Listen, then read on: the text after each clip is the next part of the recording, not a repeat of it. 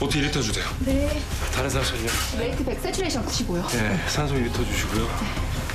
환자분 눈 떠보세요. 저희가 그 교육을 다 받았어요. 의사로 나오는 사람들이 다 실제, 실제로 직접 다 연기하거든요. 그래서 수천, 그러니까 꼬매는 거라든지 폐를 뚫고 피를 빼낸다든지 뭐 그런 것도 다 이제 직접 다들 연기를 해서 그런 배우들 연기 보시는 것도 관전 포인트가 될 것 같고요. 네, 일단 복수부터 뺍시다.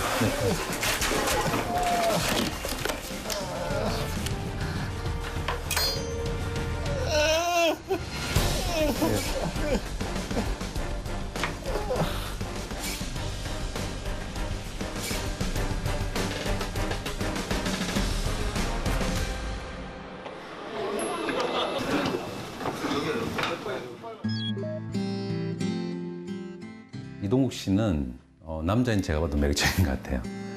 그 큰 눈에 그렁그렁한 어떤 그 사람이 눈이 주는 어떤 그런 정서가 굉장히 전달이 잘 되는 것 같고 극 중에서 이동욱 씨가 저를 되게 존경하는 어떤 그런 캐릭터인데 음, 눈빛만 봐도 그게 느껴지더라고요.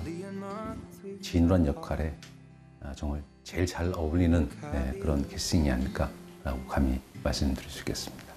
사소한 일로 책 잡히고 무너지는 걸 한두 번 봤습니다. My friends told me one day I'll feel it too. And until then, I'll smile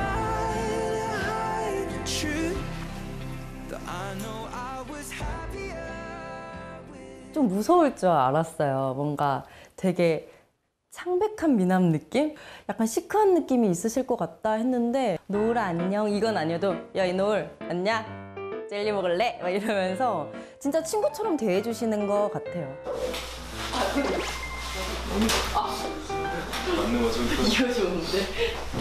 어, 이걸로 할 거였나? 이걸로 하면 안 되나? 이렇게? 이동욱 배우 가 저는 처음에 나이를 몰랐었어요. 저한테 그냥 대뜸 그냥 형 이러더라고요. 그래서 아, 전 다 키 크면 형인 줄 알고. 근데 이렇게 표현하면 그렇지만 되게 귀여운 동생 같아요.